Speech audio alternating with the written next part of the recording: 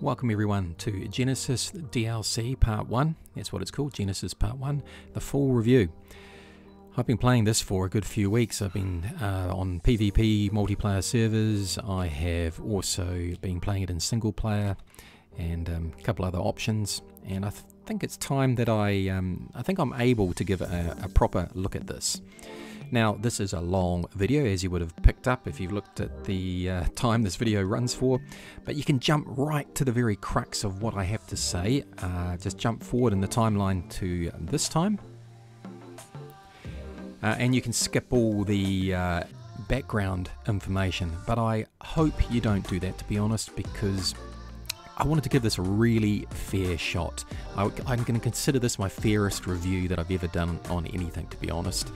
I haven't looked at the uh, boss fights. Uh, they're such a small percentage of the average person's gameplay that it's just really not worth reviewing. And to get to all that sort of stuff, it was just too time consuming. So I haven't bothered with that stuff. So this is about your normal gameplay and what they bring to the table.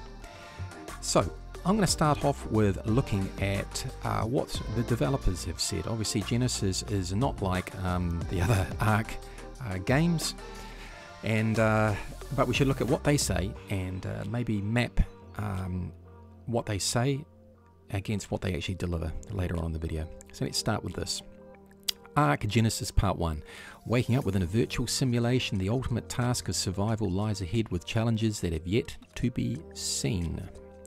The developers also say this about Genesis that it represents a new, story orientated beginning in Ark's epic saga of survival. And there's a few key words there, of course, which is story orientated beginning.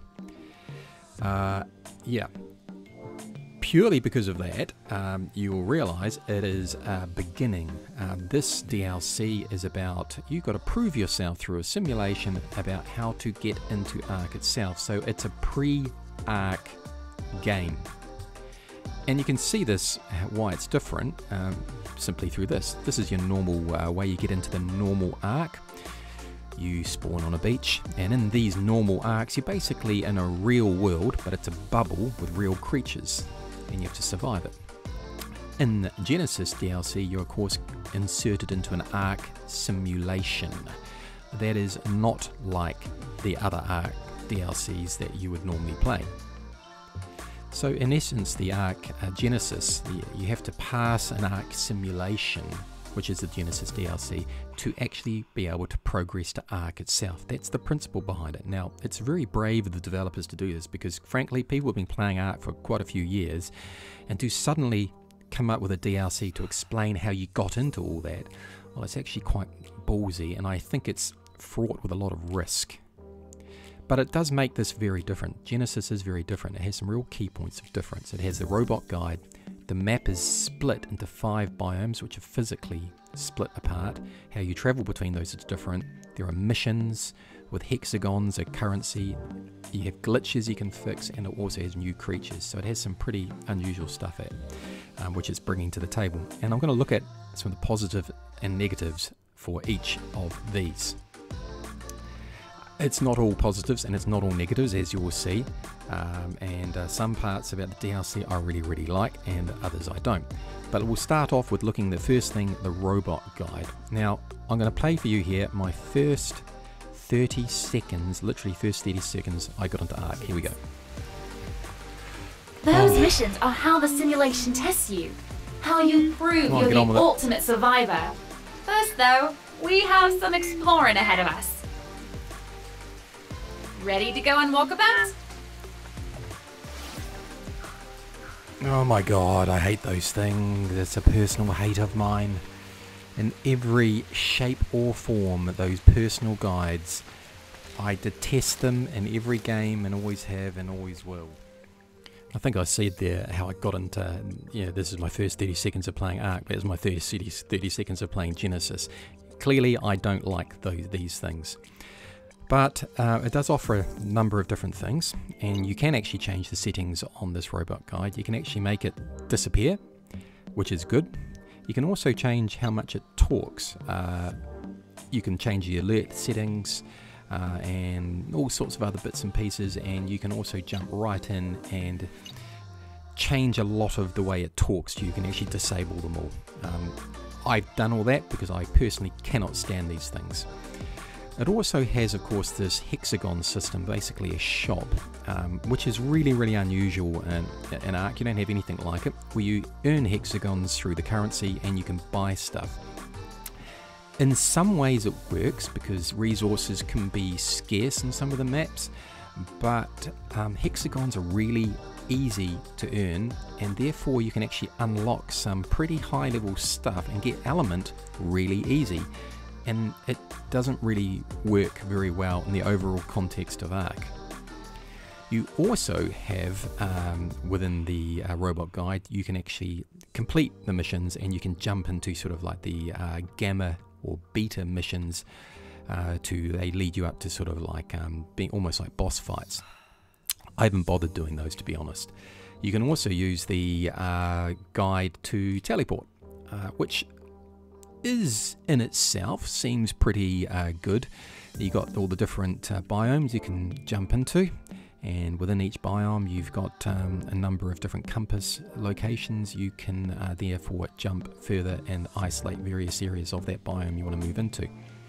The animation here is really good. I, I like it. It seems to work nicely. Uh, the creatures come with you.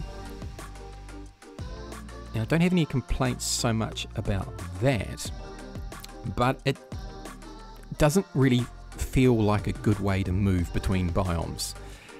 Here I'm jumping from uh, the swamp to the volcanic biome, and this happened to me several times. You always get dismounted, and you can sometimes spawn right in amongst creatures, and you get killed, or everything gets killed around you, so you don't have control over that. That's pretty clunky in my opinion. The map itself, the Genesis map, it has these five biomes which are really separate. You've got the bog swamp, you've got the Arctic, you've got the lunar, you have the ocean, and you have the volcano. Now, in itself, that looks okay, but of course, it's not quite like that. Uh, these are really separated by almost barriers. So the map when it's drawn should really look like this. So you have to use that, that um, teleportation to move between the different biomes because the map is actually looks like that. So everything is very separate. For me, this doesn't really work because um, a map, the immersion of a map is this ability to move around it. Like from this Ragnarok map, you're moving, you're flying between different areas to gather resources. It's all one continuous flow.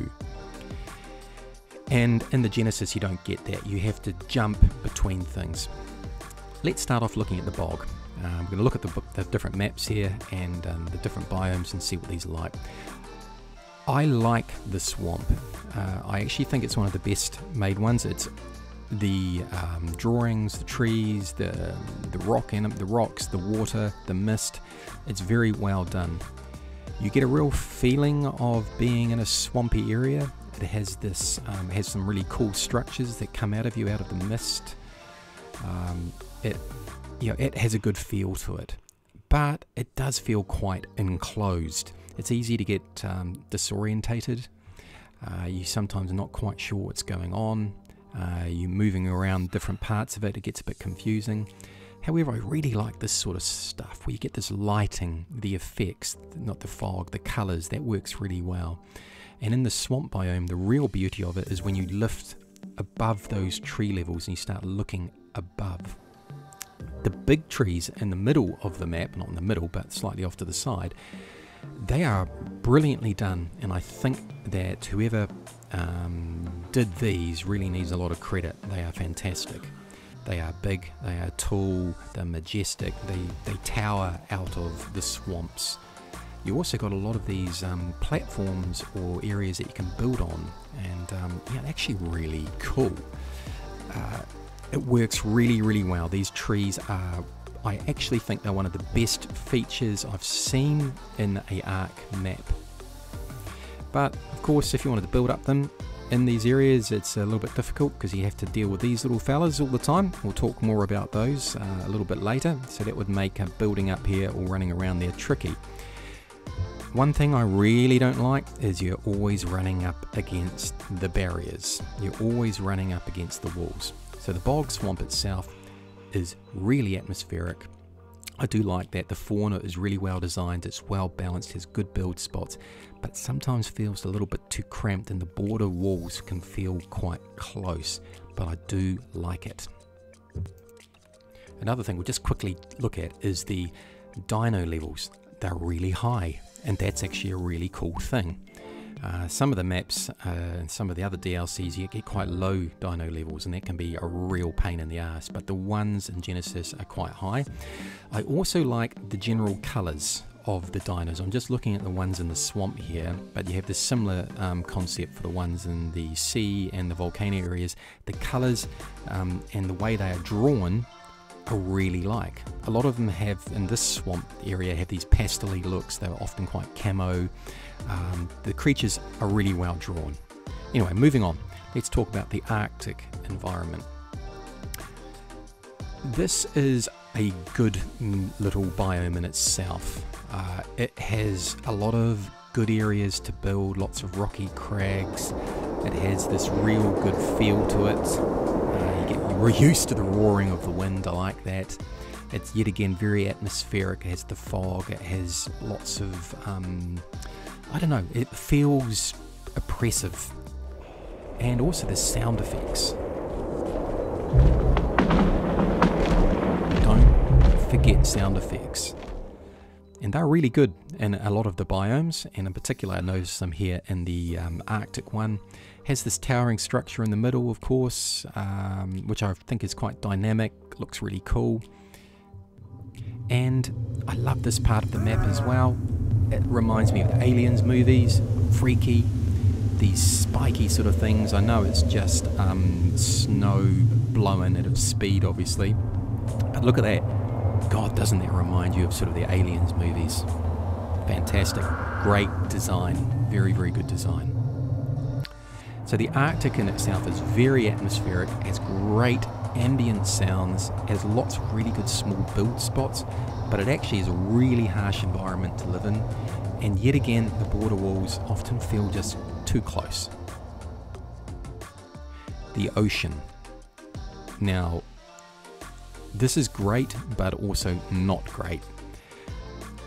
On the surface, the pillars here, everyone, anyone who's been here will see these pillars. These are your main building spots uh, above land.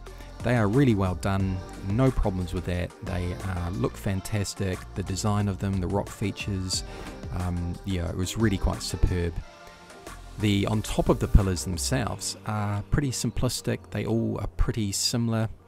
Uh, you haven't got huge amounts of resources in the ocean area above the water but they're great, great spots. And people in PvP obviously building big bases up here already, but they're not as hard as you'd think to raid.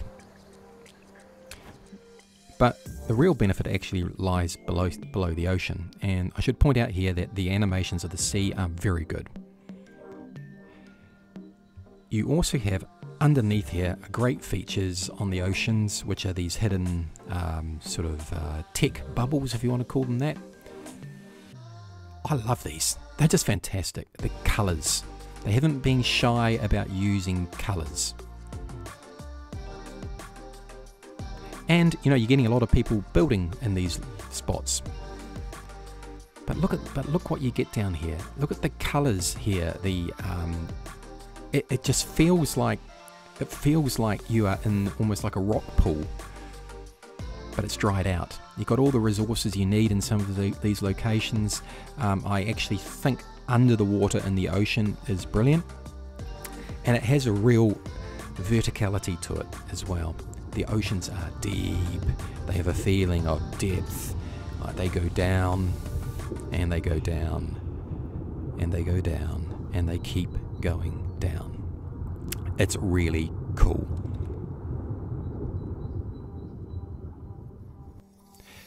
We also have in the ocean some of these new sort of features, uh, and here we have the whirlpool.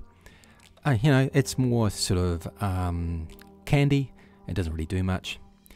Border walls, though, this is the ocean, and in our brains, oceans should be enormous. It's actually the smallest map.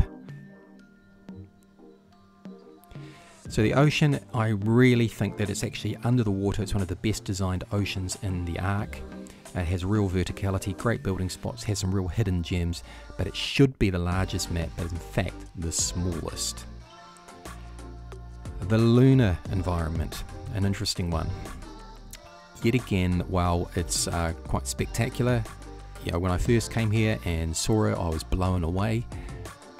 I mean, what the hell is this we're looking at? It is certainly not like anything else that you're going to find in any of the Ark maps on anything else.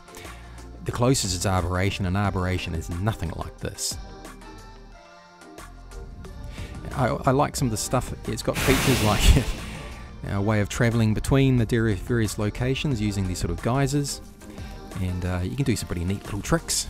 You can land on them and trampoline off to the next one. I do like that. Obviously a lot of tech stuff here. Uh, you know, some of these things, if you haven't played a lot of mods, you wouldn't have seen them before, but in the mods they're quite common. Despite it being quite unique, it has some of the, it has personally I consider the dumbest feature, this basketball game. And also the uh, greatest feature is this, uh, the meteor strikes. I honestly just sat here for bloody ages looking at this. How beautiful is that? It has caves, within it. It also, of course, has um, uh, some new um, resources which you can gather. The lunar landscape, it is super, super unique. It is a great design concept. It is challenging. It has some unique resources. The meteor storms apparently are the best. But frankly, it really does not fit into Ark whatsoever. Volcanic.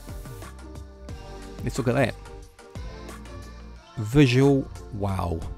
It is beautiful. It is really stunning to look at. And when that volcano erupts in the middle you just stand there and watch it for a while. It also has landslides. The colors the brightness of them uh, i really love it. You know particularly the red lava it's always a visually um, a visually sort of grabbing feature and they do that really well in this map. You look i don't don't think there's as many build spots as there should be. Uh, yeah, I would have hoped to have much better build spots, but there isn't as many as you'd think. Um, of course, down in the middle of it all, you have the Magmasaur, Magmasaur caves, where you get the eggs from. And the eggs are actually quite easy to get. I haven't really got that worked out yet. The volcanic area, it's a beautiful design, breathes life into volcanic areas. The spawn in, not so easy. Has some good build spots, but not enough of them. Yet again, the map is just too small. Overall, what do I think of this map? Look, it has some great individual maps, some real unique features, visually stunning some of these, but it has no cohesion.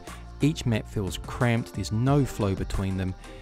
As they are small, people are just going to bore of them real quick, and to be honest, it doesn't really work that well. But let's move on. Let's look at these um, missions. Obviously, there's a whole pile of the missions. You can yeah, choose various missions.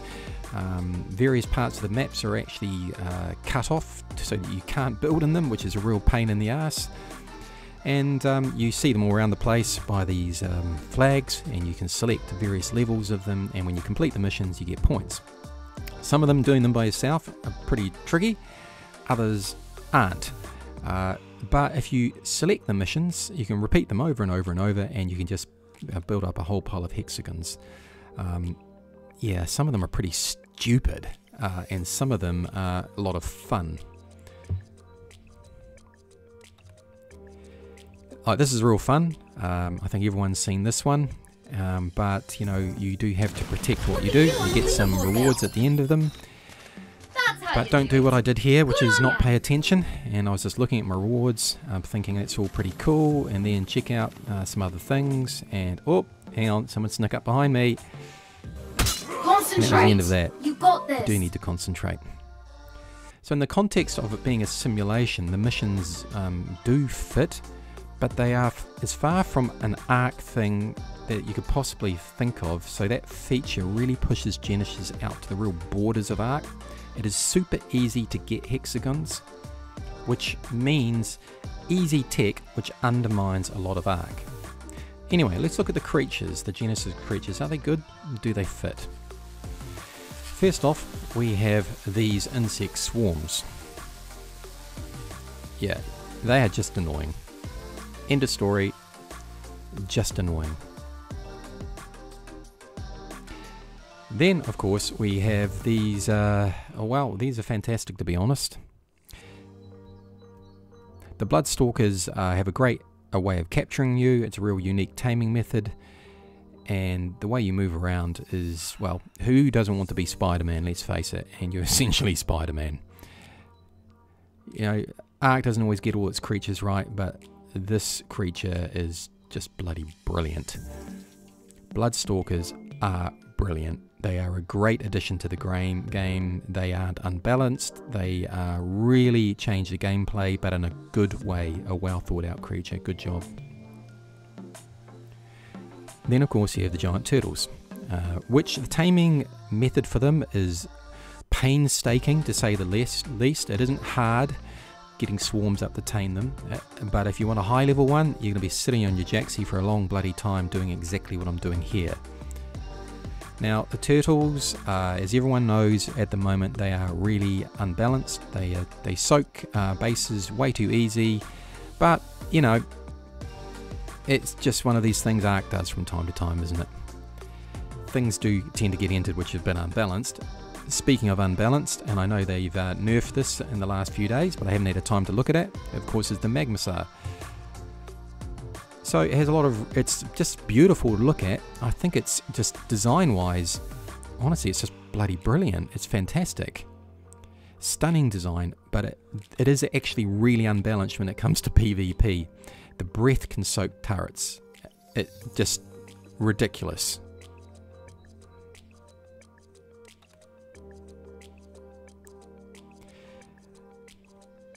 And of course, here we have um, everyone's favourite, the Ferox.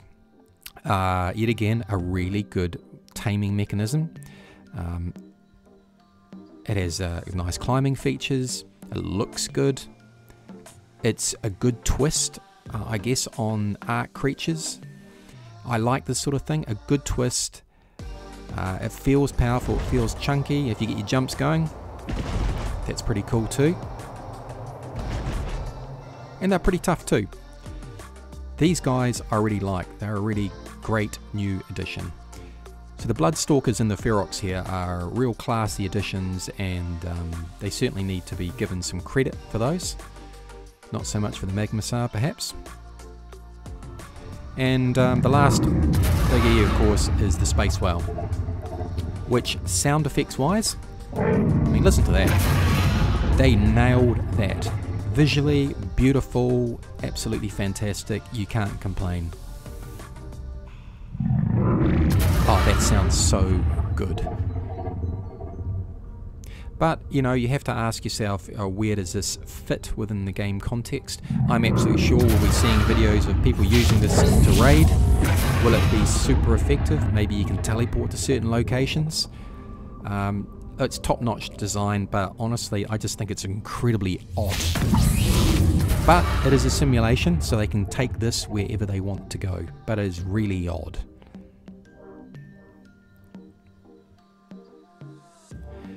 Let's have a quick look at the new equipment. Uh, we're not going to look at all of it, and just see if there's some useful additions here. You have the uh, platforms, and these are the sea platforms. You have a metal and a stone one. Ark actually has needed these for a long time. You needed somewhere you can build a decent sea base. Building them on bloody rafts just wasn't going to work out. And I particularly like the, um, pardon, the wooden one here. They uh, look really good, above and below water. I like it when people um, put uh, time into these things. The fishing net, well, it looks cool and I really like the animation and you do get some nice little things when you catch some fish. It's a cool animation, but it's just a fishing net. For the love of God. Is that the best they can come up with? A fishing net. But there we go. And of course, there's uh, everyone's favourite when it comes to the equipment, what everyone's after, everyone likes to get, and that is the mining drill, which has the weight reduction, is a super cool tool. Uh, particularly, you can actually use it if you're on the end of a blood stalker. It's clever and useful. This is a good thing to get into the game. I think this is a really good addition. Then you go into the tech area. You have here the uh, laser claws. They look cool, they sound cool. And when you look in the first person mode, oh, that is pretty cool, isn't it? Let's face it. Who doesn't want a set of laser claws? Uh, yeah, they're real cool, but are they going to be useful? Probably not. You know, it's not. People don't really tend to do much hand to hand, but yeah, they may. The hover skiff.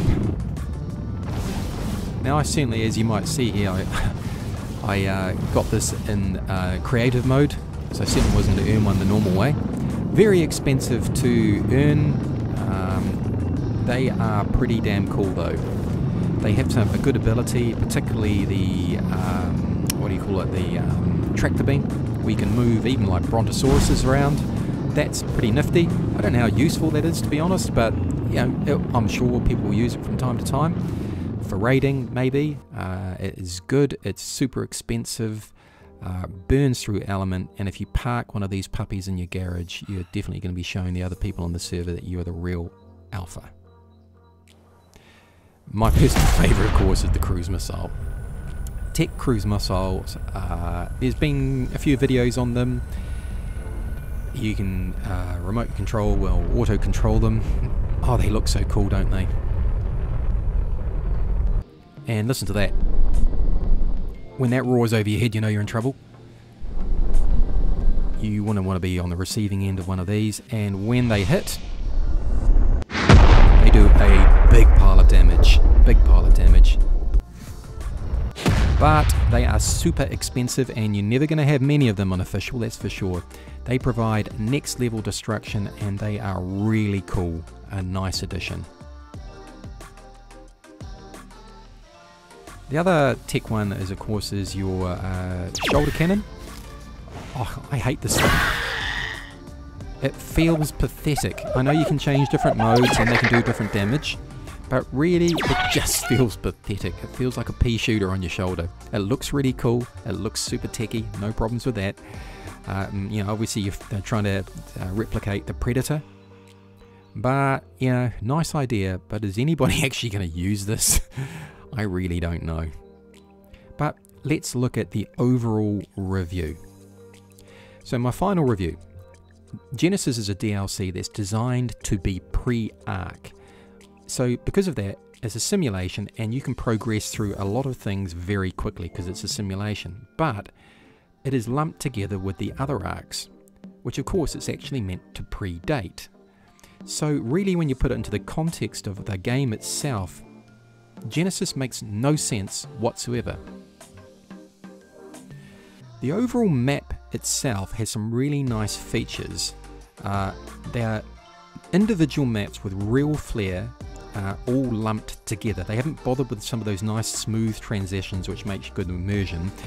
Uh, honestly, I think that's incredibly lazy design. The maps are too small, and on people are going to bore them pretty damn quickly, like I have already. So there's some really good stuff about the maps, but I think they took some shortcuts. The guide itself, the robot guide, I hate these things. Ark has always struggled to tell its story, and they maybe used the guide here to help tell the story of Genesis. It is imposing on your immersion, but you can turn it off, I recognise that. The teleportation is a nice animation, but it's super clunky and it isn't as good as you think it is of getting around. The shop feature, said before, it doesn't really work and it undermines the rest of Ark. The challenges, similar to the shop feature, um, undermines a lot of the other Ark because they tie in with being able to purchase things and it really sticks Genesis way out on a limb. The dinos are a real mixed bag. Visually brilliant, sort of genius to stupidity, particularly in the PvP world. I do like them, but I also hate some of them as well. The gear itself, well, the best stuff is focused at the high end, the tech end. Most, but not all, just most of it is sort of just visual candy, to be honest. Uh, I do like some of it, but um, it's not as good as you perhaps would hope it to be. So, overall, what I finally think of Genesis? As a standalone game, I actually think it's pretty good. I'd give it an 8 out of 10, standalone game. But when you put it as part of the cluster of other servers, it really drops down to about a 6 out of 10. But worst of all, Genesis, in my opinion, has devalued the other maps. So, overall, it's fun, but it just doesn't fit and it just feels somewhat wrong. Yeah, and that's it. Look, I hope you enjoyed the video. Don't forget to tap out that like button, consider hitting subscribe. I would much appreciate it, and I will see you in the next chapter. Thanks for watching.